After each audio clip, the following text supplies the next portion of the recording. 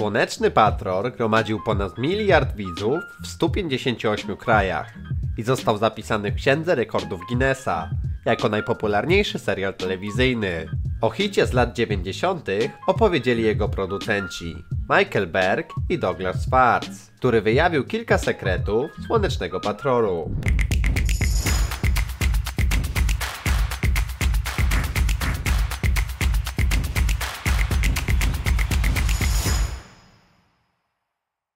Leonardo DiCaprio miał być synem Hasselhoffa.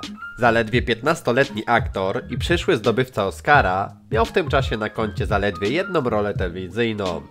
Te w dzieciaki kłopoty i my, jako Luke Brauer. Przełom w jego karierze nastąpił dopiero w 1993 roku, poprzez co gryzie Gilberta Grape'a. Wszystko mogło się potoczyć zupełnie inną ścieżką, ale młody DiCaprio został odrzucony jako syn Mitcha Buchanona i to przez samego Davida Hasselhoffa.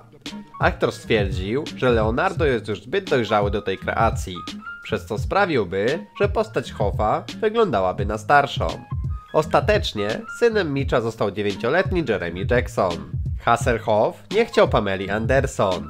Gwiazda znana z rozkładówki Playboya dołączyła do obsady przy drugim sezonie. Przeciwny tej decyzji był Hasselhoff, a powody tego wyjawił Michael Berg. David powiedział, że nie chce dziewczyny, która była w Playboyu, bo ten serial oglądają też dzieci.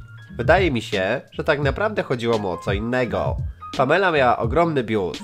David obawiał się, że wszyscy zobaczą jak się na niego patrzy, co zresztą się stało. Pamela jednak dostarczyła produkcji rzesze widzów, zwłaszcza w 1995 roku, kiedy jej seks taśma z Tomem Lee wyciekła i każdy mógł się z nią zaznajomić. Twórcy zastanawiali się, czy w obliczu tych wydarzeń powinni się pozbyć aktorki, jednak słupki oglądalności rozwiały ich wątpliwości.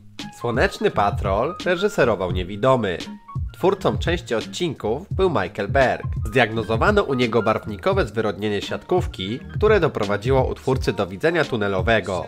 Jego ślepota w pewnym momencie zaczęła wynosić 90%, lecz mimo to reżyserował od 5 do 6 odcinków na sezon. Berg szczyci się tym, że jest jedynym niewidomym członkiem gildii reżyserów amerykańskich. Koszmar powiększenia piersi Nicole Eger. Aktorka wcielająca się w Robertę Summer Queen po przerwie w realizacji siódmego sezonu zjawiła się na planie z zupełnie nowym ciałem. Zdaniem Berka był to objaw jej konkurowania z Pamelą. Duży biust nie pomógł aktorce w zrobieniu kariery po zakończeniu emisji Słonecznego Patrolu. Próżno szukać w jej filmografii dzieł, które odbiły się większym echem. Gena Linolin dołączyła do obsady jako Nili Capshaw. Twórcy wyznali, że potrzebowali jeszcze jednej wysokiej blondynki z dużym biustem, gdyż obawiali się opuszczenia serialu przez Pamelę. Jednocześnie chcieli udowodnić Anderson, że nie jest niezastąpiona.